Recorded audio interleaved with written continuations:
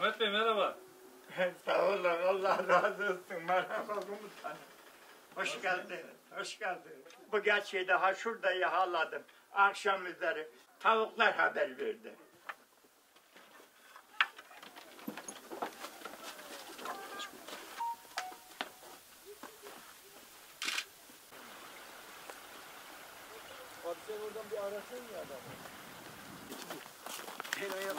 Komutanım.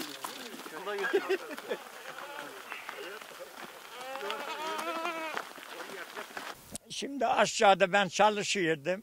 Horentem haber verdi. Tavuklar bağırışıyor dedi. Gel dedi. E, geldim yukarı.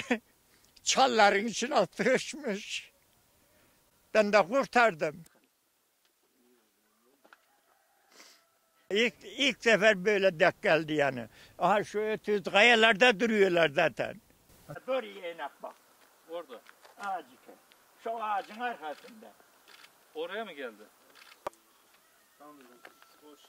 Derim size buraya kadar zahmete koştum kusura bakmayın. İlginizden, alakanızdan dolayı çok teşekkür ederim.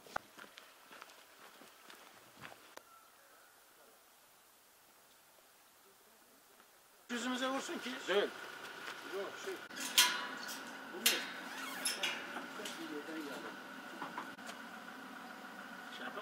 alsın mı?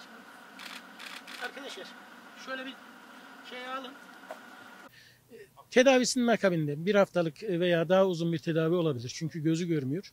Ee, bütün tedavileri yapıldıktan sonra eğer e, doğal ortama adapte olabilecekse e, hayvanı yakalamış olduğumuz bölgede yani hayvanın kendi yaşam ortamında, habitatında yeniden doğaya salınacaktır.